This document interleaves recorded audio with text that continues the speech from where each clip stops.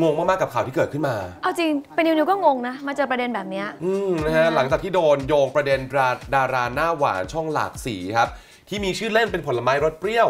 เป็นต้นเหตุทำให้คุณพ่อคุณแม่ของคุณพีชพัชระเนี่ยเตียงหักถึงขั้นหย่าร้างเลยทีเดียว ซึ่งเธอก็บอกยืนยันเลยนะว่าไม่รู้เรื่องนี้มาก่อนเลยครับ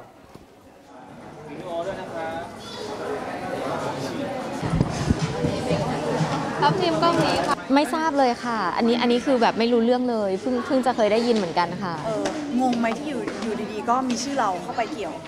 งงนะคะงงคือจริงๆ เราไม่ไม่ได้ติดตามข่าวนี้มาเลยก็เลยแบบไม่ไม่ได้ทราบเรื่องราวว่ามีข่าวอะไรเกิดขึ้นบ้างอะไรเงี้ยค่ะ ก็ชื่อผลไม้แต่ว่าทับทิมเปรี้ยวหรอไม่เปรี้ยวนะ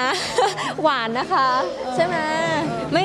ไม่ไม่เกี่ยวค่ะไม่มีอะไรเลยใช่ ส่วนตัวเคยได้รู้จักหรือร่วมงานอะไรกับฝั่งพีชพัชระอะไรอย่างนี้ไหมคะ ไม่เคยเจอเลยค่ะเอาจริง ๆ ไม่ไม่เคยได้มีโอกาสได้ร่วมงานกันเลยค่ะ จริง ๆ ก็ก็เข้าใจว่าคนอาจจะแบบว่า